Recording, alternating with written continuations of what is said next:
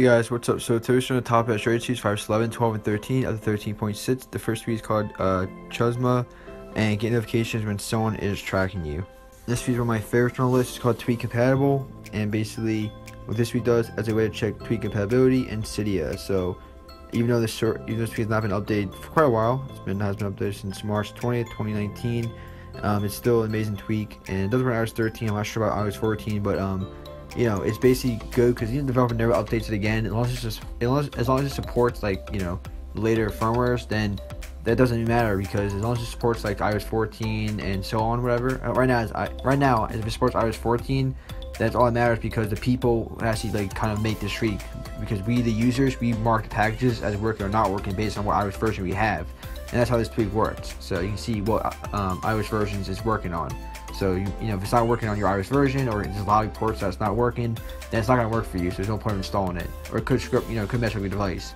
But you know if it's marked as working, then you know you could install it. So um, you know since it works on your device. This is called DockX and basically adds pasteboard pasteboard shortcuts to your keyboard dock. This is called Primal Folder 2 and basically makes the first icon of, a, of the folder a folder image.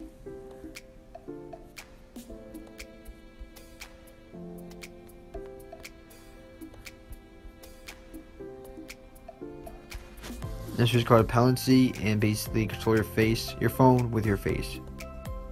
This is called VK again. This is called VK again.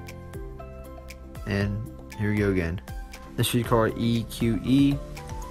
And basically, um, powerful audio platform tested to equalizer everywhere. So system rally parametric equalizer, lace, uh, last.fm alternative.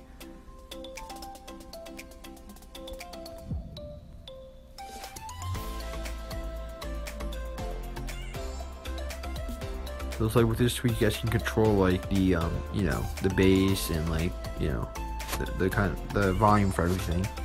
This tweak's called Your Apps, and basically, um, what this tweak does has knowing or infrequently used applications from your springboard.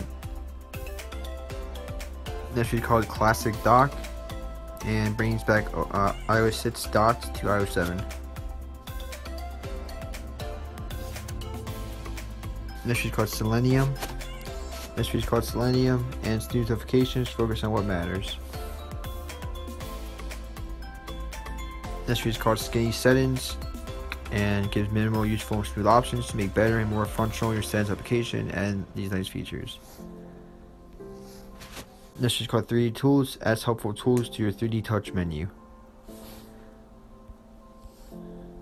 This is called Wi-Fi Carrier, and places the carrier in the status bar with the current Wi-Fi name. Allows you to send a custom carrier name for when uh, not connected to Wi-Fi. Supports iOS 13 and above.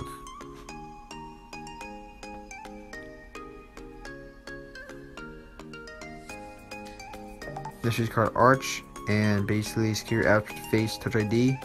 So it's kind of like a BioProtect alternative. This tree actually theme card cards and 280 280 plus icons with card-like fade effect. This is called Perfect Grabber. This is called Classic Keyboard Etz Etz and Custom Etz uh, Keyboard uh, Bomb Spacing.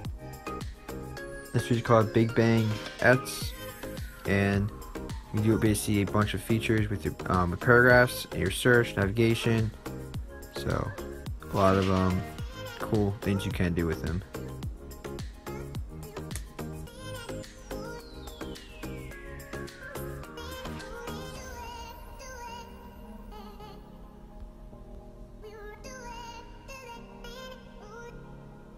Just go to Big Bang Ev and set content in your chat, content browser, edit, you Big Bang Ev menu to bang all the words to pieces. This is called B Green 13, set a custom value percentage style. This is called Color Me Notice, brings colors to notifications. This is called CC Modules, uh, Tiny Tweet that adds third-party app modules and utility modules to the iOS Control Center. And the last tweak is called Veza, and basically with this tweak brings quick controls right at disposal. So pretty cool guys. Thank you so much for watching. Catch you guys in the next one. Like, comment, subscribe, and peace.